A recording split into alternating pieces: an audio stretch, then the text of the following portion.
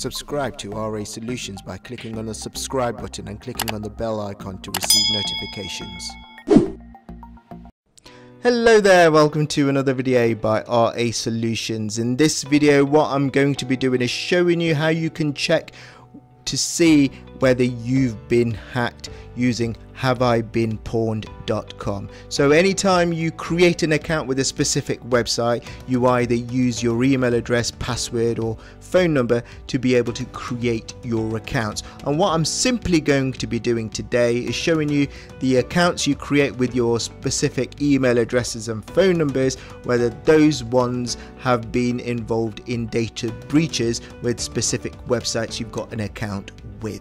I will explain what I mean in a moment. Before I do continue, please subscribe to my channel, please like this video, please click on the bell icon to receive notifications and also please support my channel. I would um, really appreciate this. Let's continue. So I've got this website opened up here. It's called haveibeenpwned.com and what I simply do here in the search box is use is or I input my main email address I use to create my accounts with. So I use rasolutions.com at gmail.com so that's my email address. And I, what I simply do is click on this box here. This is the search box pwned like that and it will come back with results for me. So it's telling me that my account my email address um, has been involved in one data breach. So Ono pwned, pwned in one data breach here. What this website will also do is tell me, give me three steps to improve uh, or increase my security here, but also it will give me some details here telling me with the breaches I were pwned in. So a breach is basically an incident where data has been unintentionally exposed to the public using and it will tell me that if I use this one password manager tool here and this will help me to ensure all my passwords are strong enough and unique enough such that a breach if it does happen uh, hopefully won't put my accounts or services at risk. But also here at the bottom it will tell me which account my email address was involved in a data breach with. So back in the day, I created an account with canva.com using my email address. And it's telling me here that back in May 2019, canva.com being a graphics design tool, website um, tool, um, it, the website itself suffered a data breach which impacted 137 million subscribers and obviously my account being one of those subscribers there. So, and it also tells me that the exposed data included email addresses, usernames, names, cities of residence and passwords stored um, so on and so forth here. So it's giving me some really detailed information in terms of what information was exposed to the public when I created my account.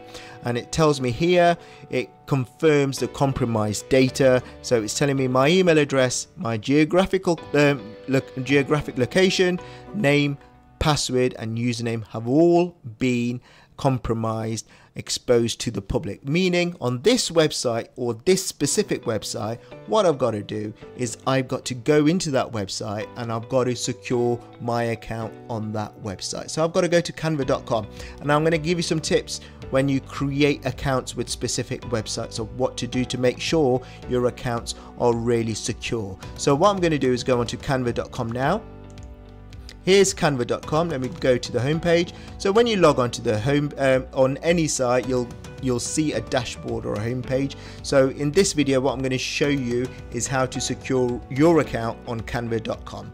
So on top right hand corner is my um, profile information. If I click on that, a drop down will appear. Go to account settings here. When I go to account settings, obviously on the left side, you've got lots of different options. I'm going to go straight to login and security um, because what I want to do is I want to ensure that I've got a couple of things done. Um, one thing is I've changed my password, which I have, to make sure I've got a brand new um, password, which is obviously not used before, um, which is unique for this website. So I, I, can say, I can check, and I've done this today anyway. Um, I changed my password earlier on today, so I know my password is new.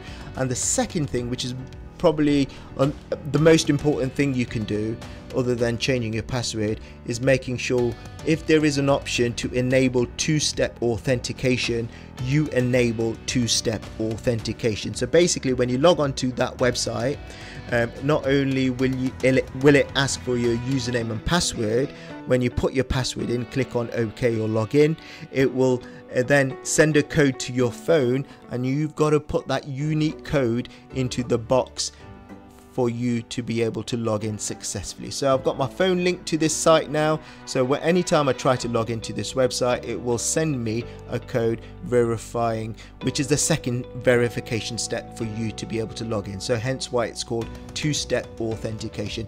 I've already got it enabled here to make sure that nobody else can access this website but me, unless they've got my phone, which they don't because I've got my phone. If you're really worried about the fact that somebody's accessing your account information from somewhere else, you can click on this option here to sign up from every single device which is linked to your account um, there.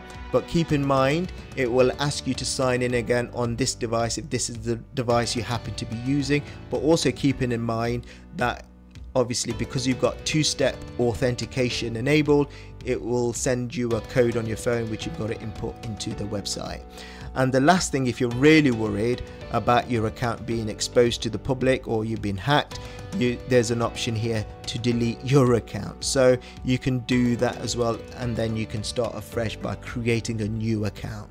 So there's a few options to help secure your account to ensure that if you are hacked how to get your details or how to add additional security to your account. So lots of websites should give you the option to enable two-step authentication if you haven't already done so on your websites or the accounts you have please make sure you do that.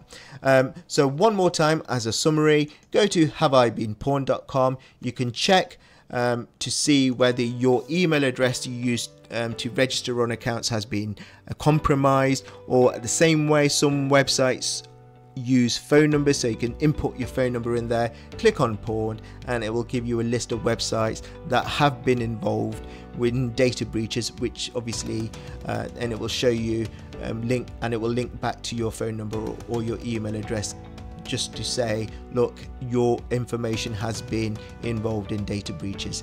You can also check here at the top on haveibeenpwned.com if you scroll across from the um, left side from home to who's been pwned click on this link here you can see a list of all the websites that have been breached in the past um, that have been loaded onto this website. So you can see there's a fair few websites on this list that have been involved in a breach. So if you've got an account with Adobe, you can you can straight away tell back in 2013, 153 million Adobe accounts were breached uh, containing again ID, usernames, email, encrypted passwords, so on and so forth. So obviously if you've got an Adobe account, you haven't changed your password, since October 2013.